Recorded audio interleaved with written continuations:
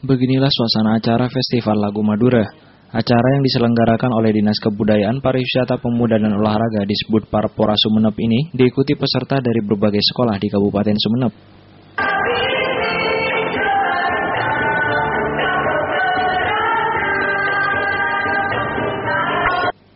Acara tahunan disebut Parpora Sumeneb ini bertujuan untuk melestarikan kekayaan budaya, khususnya tembang-tembang Sumeneb zaman dahulu. Dari 17 grup kategori sekolah dasar yang berlaga dalam festival ini akan diambil lima besar sebagai juara, dan begitu juga pada kategori SLTP dan SMAN. Dari 14 grup yang turut ambil bagian, akan dinobatkan lima juara yang akan menjadi pemenangnya. Tujuannya untuk meningkatkan apresiasi lagu-lagu Madura uh, kepada generasi muda, khususnya untuk murid uh, SD.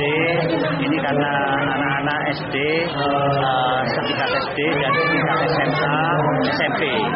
Itu kita bagi dua uh, kejuaraan, tingkat SD dan tingkat SMP, SMA.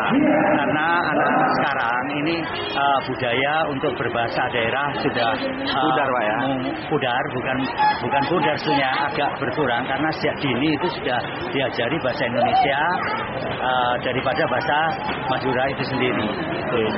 Untuk beberapa tahun terakhir, acara festival lagu-lagu berbahasa Madura ini menjadi prioritas program kerja di Sput Parpora Bidang Pemuda dan Olahraga. Sebab saat ini, anak-anak dan kalangan remaja sudah mulai meninggalkan bahasa Madura sebagai bahasa ibu. Mereka lebih suka berbahasa Indonesia dan bahkan belajar bahasa asing.